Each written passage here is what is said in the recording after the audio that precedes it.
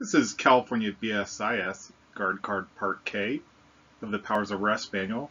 The topic we will be covering is searching the suspect. This presentation is provided by University Security and Training Solutions. My name is Ryan Long. Things to remember.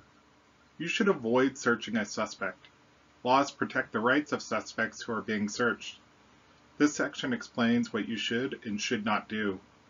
You are not allowed to search someone in order to find evidence for making a citizen's arrest.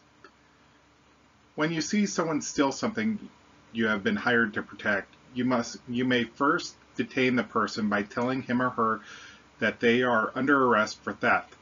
Then you may physically detain the person for the police to search. You should not give the suspect an opportunity to dispose of any items taken. If you have reasonable cause to believe you are in physical danger by detaining the suspect, you may search the individual for weapons.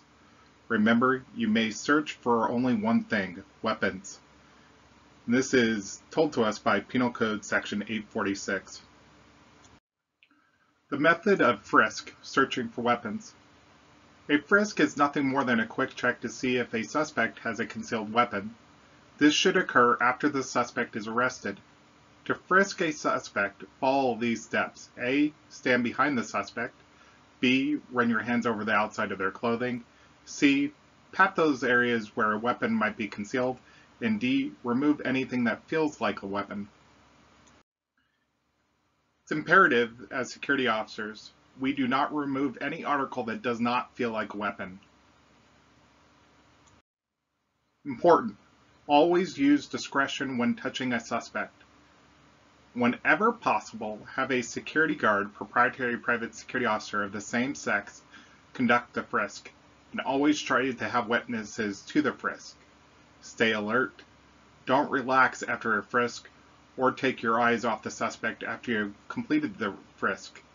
They may still have a weapon you did not find. The frisk should be done quickly and if possible with another security guard, proprietary private security officer standing by practice the frisk on a partner by having him slash her conceal a small object. During a frisk, you may also discover illegal items called contraband. The most common type of contraband is narcotics. If you discover contraband while you are frisking for concealed weapons, leave it alone and tell the police when they arrive. The picture shown here is illustration of the frisk. Keep in mind these boxes are where people tend to hide things.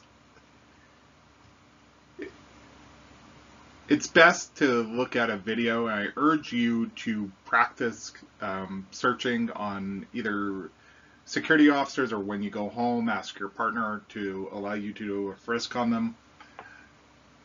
Just to kind of see where somebody may hide something and what that process feels like. Uh, there's resources available that you can look at, uh, particularly trainings that are provided to law enforcement either at the Police Academy or in private security hands-on courses. Knowledge check. Question 44. According to the text, you should A. Not search the subject unless you have a reason to believe he or she has a weapon. B. Search all suspects immediately. Or C, search only the persons suspected of major crimes. And D, search only those persons with a police record. Question 44, the answer is A. Not search a suspect unless you have reason to believe he or she has a weapon. Question 45. What must you do before you frisk a suspect? A. Handcuff the suspect. B. Arrest the suspect. C. Tie the suspect's hands over his head. D. Write your report. Question 45. The answer is B. Arrest the suspect.